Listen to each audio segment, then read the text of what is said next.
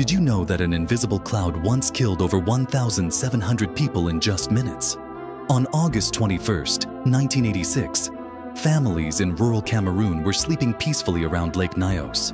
Children lay safely in their parents' arms as the night grew quiet. But deep beneath the volcanic lake, something deadly was building pressure. At dawn, a massive eruption of carbon dioxide burst from the lake bottom. The invisible gas cloud rolled through valleys at 30 miles per hour, suffocating everything in its path. Rescue teams found entire villages with no survivors.